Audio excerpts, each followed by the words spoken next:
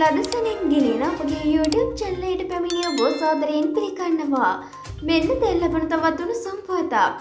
උදු මුං ඇට කව් ඉබඩ ඉරුකු කුරක්කන් සහ මිලට අනයනයේදී අයිකළ විශේෂ වෙලද බාඩ බදු මිල ඉහළ නැවමින් නව ගැසට් පත්‍රයක් නිකුත් කර තිබෙනවා.